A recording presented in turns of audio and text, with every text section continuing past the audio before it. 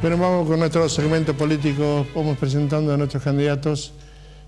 ¿Cómo es tu nombre completo? Gustavo Adolfo Villalba, soy candidato concejal en la línea del doctor Daniel Deyán. Uh ¿Naciste en Tucumán? Sí. ¿Dónde nací. hiciste tu escuela primaria? En el barrio Echeverría, en la zona del norte de Tucumán. ¿Y la secundaria? En la técnica número 5. Uh -huh. Egresado, uno de los primeros egresados con de técnico en computación en esa época. Bien.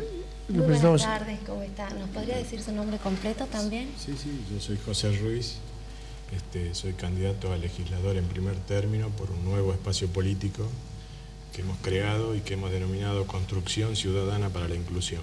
¿Nació acá en San Miguel de Tucumán?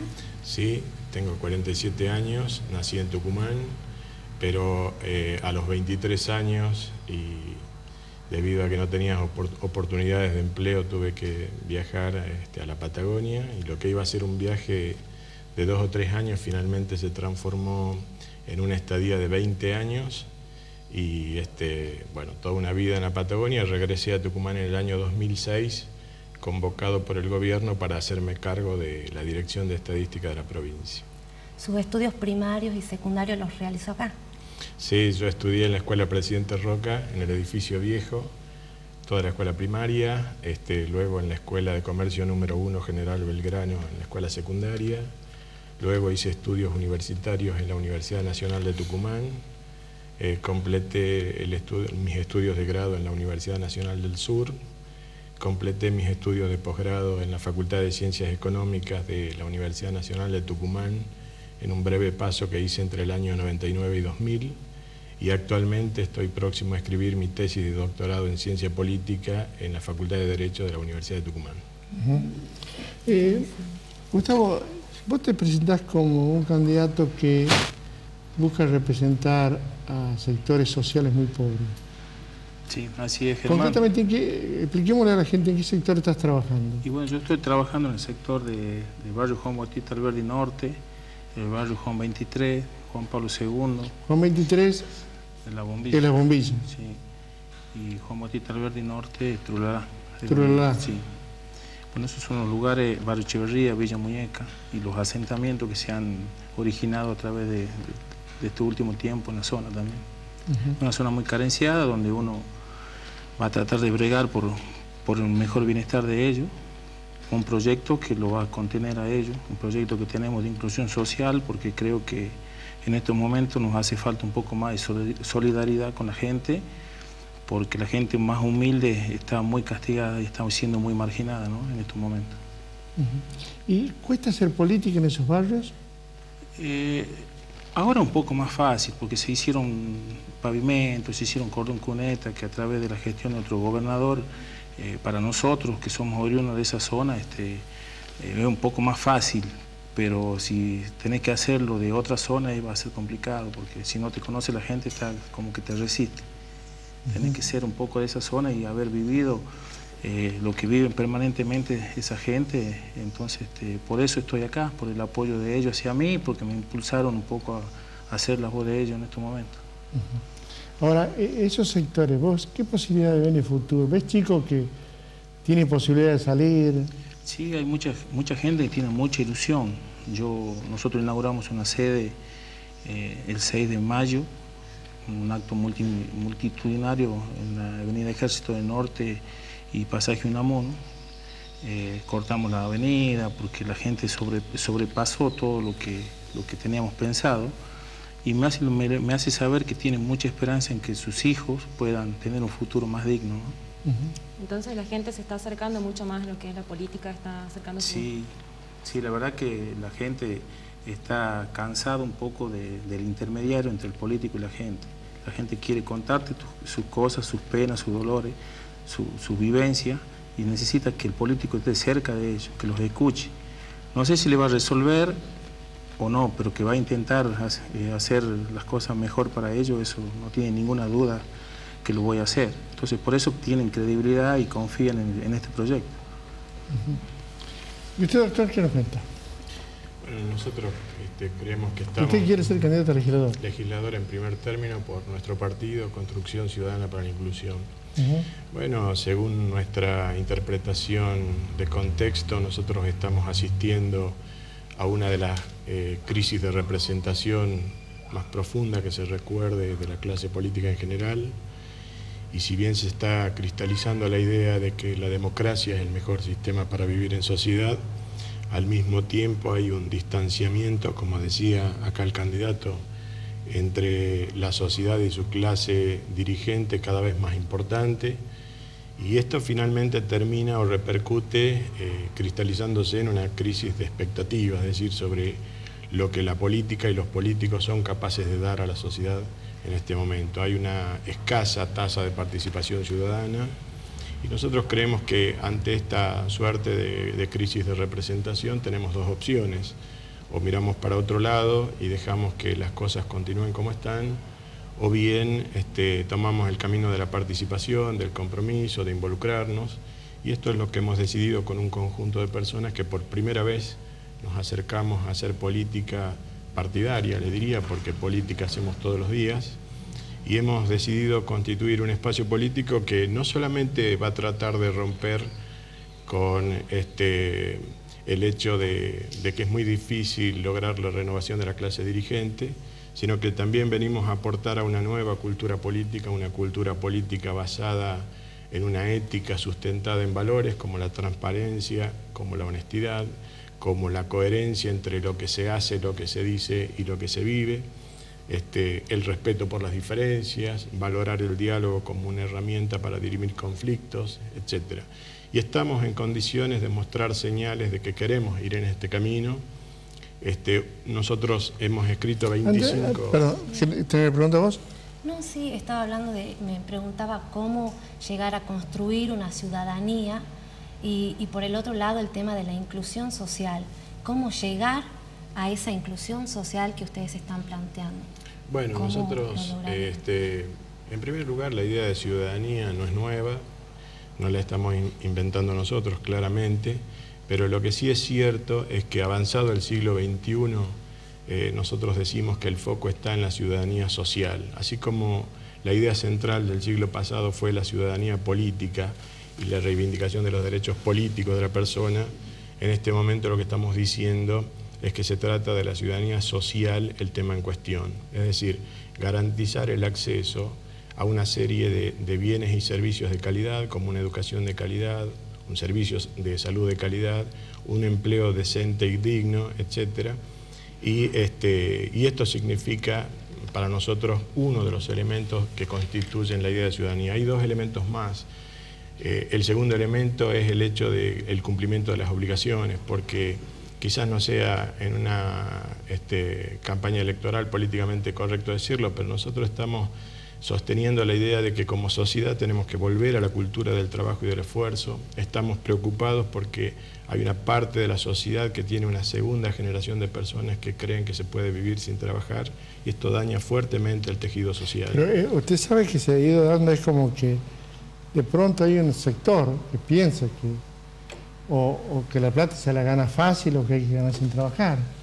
Así es, nosotros creemos que hay que volver a la cultura del trabajo y del esfuerzo, como medio para mejorar las condiciones de vida de, las personas y además como sociedad necesitamos volver a apegarnos a la ley, cumplir las normas, desde no cruzar un semáforo en rojo hasta pagar impuestos. Y déjeme que le complete la idea, un tercer elemento que constituye el concepto de ciudadanía para nosotros tiene que ver con el desarrollo de un sentido de pertenencia, un arraigarse a la tierra, y esto es muy importante decirlo porque sin un sentido de identidad territorial no vamos a vivir plenamente el ejercicio de nuestra ciudadanía. Para esto hemos desarrollado un, un conjunto de 25 proyectos de ley que le ofrecemos a la sociedad y que estamos dispuestos a debatirlos con otras fuerzas políticas, con quien quiera hacerlo, o eventualmente, si no hay con quien debatirlo, quisiéramos que la sociedad conozca 25 ideas de cómo mejorar Tucumán. El tema de la palabra, Usted, todo eso, usted sabe que muchas veces las palabras se fue desgastando, el respeto a la palabra. ¿Y usted cómo le explica a la gente, che, cuando vos decís sí, es sí? Cuando vos decís no lo voy a hacer, no lo voy a hacer. Es como que se ha ido perdiendo ese, ese valor de la palabra. Así es, nosotros valoramos el uso de la palabra como la principal herramienta para un dirigente político. No nos va a ver en campaña repartiendo absolutamente nada, sino trabajando con la principal fuerza que tenemos como partido político, que es nuestro discurso y nuestra palabra. La palabra... Usted va a hacer publicidad, campaña sin bolsón, me quiere decir. Bueno, lo que le quiero decir es que lo que nosotros vamos a repartir es esperanza, vamos a repartir expectativas en que podemos trabajar por una clase política diferente en Tucumán que respete las demandas y las expectativas de la gente. Nosotros, el primer proyecto de ley que vamos a presentar, si es que la sociedad nos honra, en mi caso, para ser este legislador por la capital, tiene que ver con hacer de acceso público las declaraciones juradas de bienes de todo funcionario público.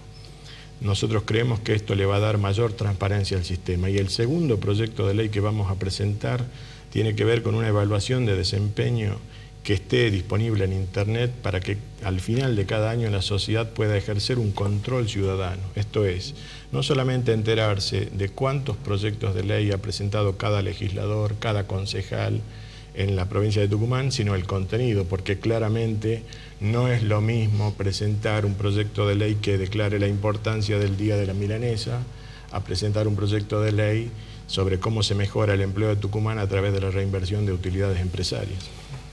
Y, cuando ves vos el tema político en la zona donde estás trabajando, ¿qué le dice la gente? ¿Qué te quiere que más pide la gente? Y pide, pide más sensibilidad en los políticos, que no se acerquen en esta época nada más, eh, porque le cierran las puertas durante tres años y medio y después aparecen con dádivas los últimos seis meses a prometerle el oro y el moro y, la gente está cansada, porque ya lo hicieron y se le acaba el discurso cuando, cuando tiene que, que decirle a la gente que darles propuestas de trabajo y de inserción social a los que menos tienen. Entonces ahí se le acaba el discurso a muchos políticos. Entonces, por eso mm, la gente eh, más necesitada tiene como una alternativa este proyecto, donde los vamos a sostener y vamos a tratar de preparar juntos proyectos para que los contengan mejor. A ver, ¿que preguntar algo? Bien, sí. Sí, una de, mis, preguntas es el trabajo que se hace ahí. Vos decís, necesitan trabajar, la gente necesita empleo. ¿Y qué pasa con la alfabetización? Porque muchas de esas personas no tienen estudios o no pueden acceder. Sí, ahora, ahora en la zona se, aumentaron escuelas, pero recién este año, este, así que bueno, yo creo que vamos a tratar de incentivar a la gente para que comience a ir más seguido los chicos a la escuela, pero muchos no tienen los medios. Eh, a los 6, 7 años ya eh, no van más a la escuela porque por ahí ya no tienen zapatillas o por ahí porque ya los discriminan o porque no tienen un delantalcito y solo ellos mismos se van eh, discriminando y se van aislando. ¿En esos sectores pobres hay discriminación también? Sí, sí, sí, claro que sí. Pero mucha discriminación. Yo te haré conocer la zona que yo te invité y, lo vamos a recorrer y te vas a dar cuenta que la misma gente te va a decir cómo es discriminado. Cuesta creerlo en nuestro tiempo, pero es la realidad. Pobres contra pobres. Pobres contra pobres. La verdad que es así. Estamos hablando de los barrios. Tiene La Bombilla, Turlalá, Villa Muñeca. este, eh, hay muchos punteros políticos que, digamos, trabajan con su gente. Si vos no estás aliado a ellos, te discriminan. Germán, déjeme que le cuente que nosotros sabemos cómo se crea empleo en Tucumán. Hemos estudiado el problema durante cinco años. Este, le voy a dar un par de datos estadísticos. Eh, Aclaramos que el doctor es también el titular de la Dirección de Estadística de la provincia. Mire, durante el año pasado, 7 de cada 10 empleos lo han generado las pequeñas y medianas empresas de Tucumán. Entonces hay que desarrollar un programa para sostenerlas, para preservarlas, para protegerlas. Estamos proponiendo un fondo de financiamiento para la compra de bienes de capital para los pequeños y medianos empresarios. Estamos este, proponiendo que Tucumán tenga una banca pública provincial de manera que podamos llevar adelante nuestras políticas públicas de desarrollo estratégico a través de una herramienta financiera importante que otorgue eh, crédito a nuestros jóvenes emprendedores, que otorgue crédito a nuestros pequeños productores agropecuarios, que también funcione a manera de banca pública eh, como banca social. Esto, esto es este, pequeños créditos a nuestra gente más humilde, créditos a tasas muy blandas a nuestros jubilados y pensionados. Es decir, hay ciertas funciones del sistema financiero que la banca privada no la va a cumplir simplemente porque no son rentables. Y, nosotros necesitamos eh, no una economía que maximice la renta, le quiero decir que necesitamos una economía que maximice la demanda de empleo en cantidad y en calidad. Necesitamos que el dinero que circula en Tucumán vuelva a reinvertirse, las utilidades empresarias vuelvan a reinvertirse en Tucumán. Por eso, Tucumán, paradójicamente, le voy a decir una cosa, es una provincia que exporta dinero. A pesar de ser una provincia pobre, el circulante en Tucumán sale de la provincia mensualmente. Entonces, hemos imaginado que una de las maneras en que se puede estimular a nuestro empresariado para que reinvierta las utilidades empresarias en el medio tiene que ver con que se analice un proyecto de devolución de ganancias, aunque sea parcialmente a aquellos empresarios que demuestren que reinvierten sus utilidades en el medio. Esto claramente, inmediatamente, redundaría en una creación de empleo y por lo tanto en un retroceso de la tasa de desempleo. Gracias, doctor. Gracias por venir. Gracias, Gustavo. Gracias por venir. Gracias. Hacemos una pausa y después tenemos distintos temas. Tenemos el tema de marketing y hay una situación que se está planteando ahora con los nuevos términos por eh, la cuestión de género. En unos minutos conversamos ese tema. Ya volvemos.